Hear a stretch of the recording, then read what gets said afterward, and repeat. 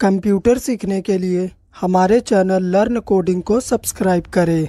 Hi friends, आज के इस वीडियो में मैं आपको हब नेटवर्क डिवाइस के बारे में बताऊँगा कि हब नेटवर्क डिवाइस क्या होता है, इसका क्या एडवांटेज डिसएडवांटेज है। तो ये बहुत ही इंपॉर्टेंट टॉपिक है हमारा नेटवर्किंग का। एग्ज़ाम में हब के बारे में अक्सर पूछा जाता है।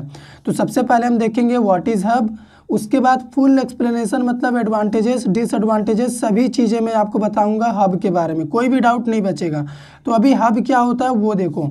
Hub is a network device that is used to connect multiple computers in a network hub एक नेटवर्क डिवाइस है, जिसका यूज़ हम करते हैं मल्टीपल कंप्यूटर्स को आपस में कनेक्ट करने के लिए। किसमें नेटवर्क में।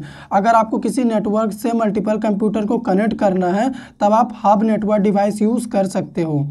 सेकेंड पॉइंट क्या होता है? All the information sent to the hub is automatically sent to each port to every device hub से जो भी इंफॉर्मेशन को हम सेंड करते हैं ना, वो अपने आप हब में जितने भी डिवाइसेस कनेक्ट होते हैं हब के जितने भी पोर्ट से जितने भी डिवाइसेस कनेक्ट होते हैं, उन सभी के पास वो मैसेज अपने आप चला जाता है। जैसे हमारा व्हाट्सअप का ग्रुप होता है।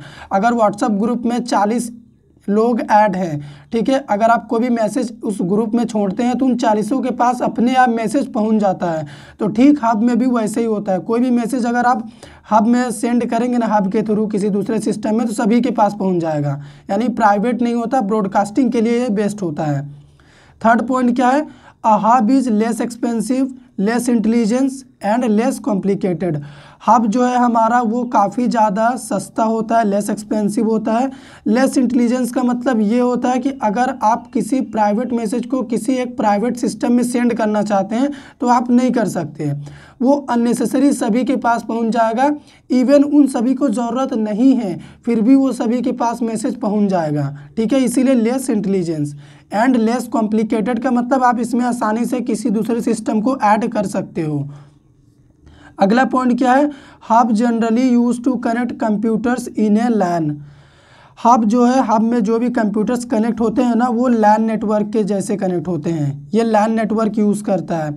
अगर आप अपने स्कूल कॉलेजेस में लैब में देखेंगे तो वहाँ पे आपको हब मिल जाएगा देखने को, क्योंकि हमारा स्कूल कॉलेज अपना खुद का एक लोकल नेटवर्क बनाता है अपने लैब के लिए तो वहाँ पे वो हब नेटवर्क डिवाइस यूज़ करता है। अगर आपको कहीं भी लोकल एरिया नेटवर्क अपना तैयार करना है तो आपको हब नेटवर्क डिवाइस वहाँ पर चाहिए ही होगा। इसी का यूज़ करके लोकल एरिया नेटवर्क बनता है और आप अपने उस लोकल एरिया नेटवर्क में जितने कंप्यूटर को चाहें कनेक्ट कर सकते हैं within some ranges last point क्या है? Transmission mode of hub is half duplex half duplex का मतलब यहाँ पे ये होता है ना कि हब में या तो आप एक टाइम पे मैसेज को सेंड कर सकते हो या फिर मैसेज को रिसीव कर सकते हो, लेकिन दोनों काम एक टाइम पे नहीं कर सकते। उसी को बोलते हैं हाफ़ डुप्लेक्स यहाँ पे फिगर आपको दिख रहा होगा, इसी को बोलते हैं हब यहाँ पे देखो हब में चार पोर्ट है। एक, दो, तीन, चार, ये पोर्ट होता है और हर एक पोर्ट से एक एक सिस्टम कनेक्टेड है।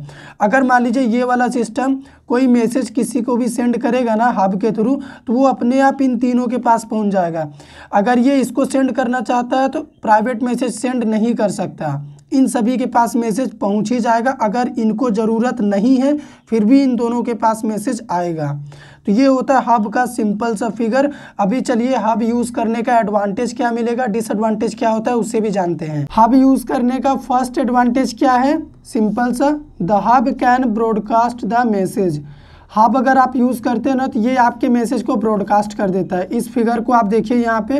अगर मान लीजिए ये पर्टिकुलर कंप्यूटर सिस्टम कोई भी मैसेज सेंड करता है इस हब के थ्रू तो इसका मैसेज अपने आप ब्रॉडकास्ट हो जाएगा, इन तीनों के पास पहुँच जाएगा। इसे इन तीनों के पास अलग अलग सेंड करने की ज़रूरत नहीं है, क्योंकि ये हब से कनेक्टेड है। जैसे ये कुछ सेंड करेगा, तीनों के पास पहुँच जाएगा, उसी को बोलते हैं ब्रॉडकास्ट सेकेंड पॉइंट क्या है अपना? It is less expensive that anyone can use it hub हमारा काफ़ी सस्ता होता है, इसीलिए ना कोई भी इसे यूज़ कर सकता है। सेकेंड पॉइंट ये होता है, ये भी एडवांटेज है। थर्ड पॉइंट क्या है? इजी इंस्टॉलेशन इजी इंस्टॉलेशन का मतलब यहाँ पे ये है कि आपको सिंपली क्या करना है? मार्केट से इस हब डिवाइस को परचेस करना है। उसके बाद अपने कंप्यूटर सिस्टम को इससे कनेक्ट कर देना है। जैसे ही आप कनेक्ट करोगे, आपका लोकल नेटवर्क तैयार हो जाएगा। ठीक है? तो यही मतलब होता है इजी इंस्टॉलेशन का।